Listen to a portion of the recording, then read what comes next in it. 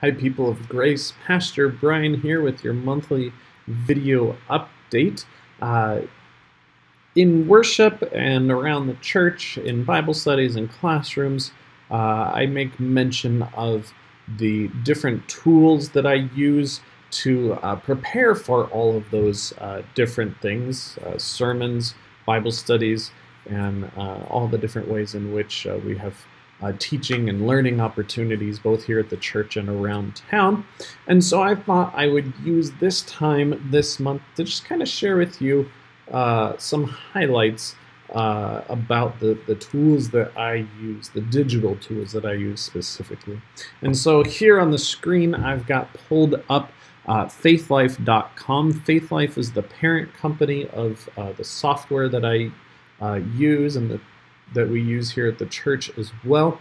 And one of the things that I love about using it and having it available at the church is that uh, they all communicate and work with each other pretty flawlessly. And so um, it is a suite of uh, both uh, web programs as well as software programs as well as apps for your phones and devices. And so the first one that we've got here is both uh, an app for, and all of these are available for uh, Apple phones and tablets as well as uh, Android phones and tablets on the Google Play Store, as you can see here uh, on the screen. And uh, Faith Life is a platform for churches to uh, connect together.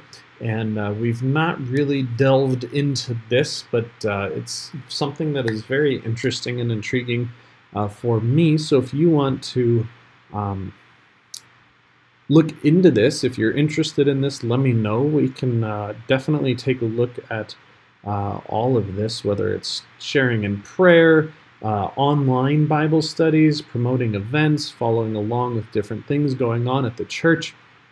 It's just kind of one more uh, social avenue that is uh, curated for just people within our own congregation, but it would definitely be something uh, that would be fun and interactive to do together if that's something uh, many of you would like to be a part of. Uh, now, Logos, as we move down on this web page, which has all the different kind of apps that uh, that they have here. Logos is the primary software program that I use, and I love it because it is available on my computer it is available on my phone and it is available on uh, my iPad as well. And so it's got uh, Bibles, it's got commentaries, it's got uh, Greek and Hebrew translations, it's got all uh, kinds of different uh, books and commentaries and resources available for studying the Bible. And so uh, it is a great program. They do have a free basic version of it for your computer, and then uh, you can then uh, get it on the on your mobile device as well. Um, so I love using that program, and that's the primary program that I use when studying uh, for all of the different things that I use in teaching and preaching. And uh, I'll show you a little bit of the app uh, on my computer in just a minute, but I wanted to highlight a couple of these others. Faith Life TV is like uh, a church Netflix, so to speak. Uh, Faith Life Proclaim is the media presentation software that we use for our weekend services. Uh, so a while ago we switched from uh, just using PowerPoint to using this Proclaim platform, and it works wonderful and flawlessly, like I said, uh, from my uh, from the Logos uh, desktop app to the Faith Life uh, presentation app. The Faith Life Study Bible is something that uh, I think would be great for uh, people in the congregation. It is a free uh, app available on the App Store and the Google Play Store, and it uh, has a Bible as well as a study portion for the Bible, and it's great because it's got um, infographics, both regular pictures as well as some like videos of uh, where these things are happening, and they're obviously videos of what it looks like in today and not back in Jesus' time, but just wonderful images and videos of uh, what you're reading in the Bible at that time, as well as commentary as well to help you learn more about what's going on there. And the great thing about that is it also has in the menu a way to connect to the church uh, presentation from that Faith Life Proclaim uh, during worship. So I know we've got the screen up there, but if you want to be able to have something closer uh, and uh, right there in front of you, then this can connect to uh, our church presentation during worship. Uh, and then there's some other things here as well that aren't really uh, anything that I really want to point out for the sake of uh, today. And uh, but you can take a look at those. It's faithlife.com, and this is slash apps, so it's all of the different uh, different tools that they offer for uh, individuals and for churches as well. And so now I want to, as I mentioned, I just want to switch real quickly to um, my Logos Bible software. And uh, this is uh, what it looks like. And it's uh, got commentaries over here as well as uh, looks like some notes that I took on this passage as well. Uh, as well as some uh, down here in the corner, some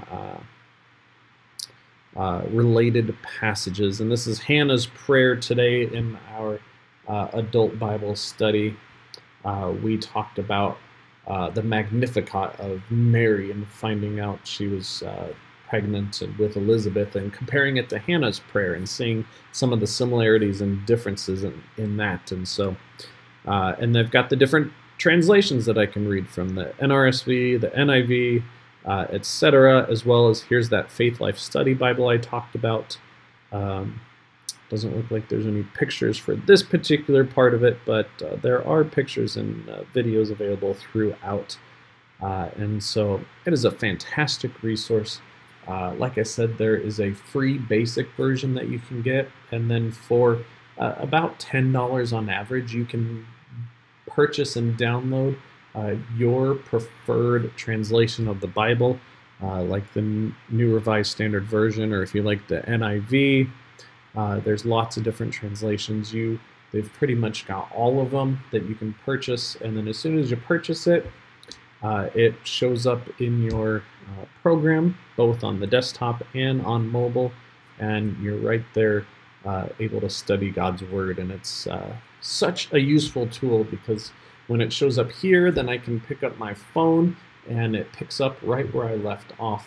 Uh, and it's so wonderful knowing that as I travel, that just having my phone in my pocket for my phone and mail and everything else, that I can also have my Bible available as well. Uh, fantastic resources. If you want to know more about them, if you want to learn more about them, if we get enough people saying, yes, tell me more, I'd love to maybe just set aside a day and for an hour or two and I, we can sit and learn about it and learn how to use them and uh, get them onto our devices.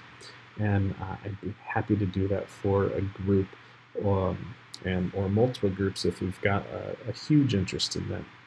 So I hope you enjoyed this little insight into uh, the tools that I use and that the church uses and are available for all of us to uh, kind of make our Bible study uh, digital if that's something that you're interested in. I hope you are all well, people of grace, uh, as we continue to move forward in 2020. Uh, I love worshiping with you and all the ways in which we engage both in worship, uh, outside worship at the church, and seeing you all uh, in our community. God bless you all, and I hope to see you soon in worship. Take care, people of grace. Bye.